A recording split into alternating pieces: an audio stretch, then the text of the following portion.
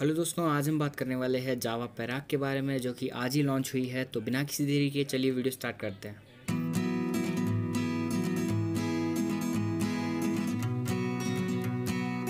जावा Perak आज India में launch हो गई है और इसकी कीमत है one lakh ninety four thousand five hundred rupees जो कि एक शोरूम प्राइस है। इस बाइक में, इस बाइक की बुकिंग फ़र्स्ट जनवरी 2020 से स्टार्ट हो जाएगी। जावा पैराक में आपको थ्री थर्टी फोर सी का लिक्विड कूल्ड इंजन मिल जाता है, जो कि 30 हॉर्स पावर और 31 वन न्यूटन मीटर्स का टॉक जनरेट करता है। इस बाइक में आपको सिक्स स्पीड का गियर बॉक्स देखने को मिलता है।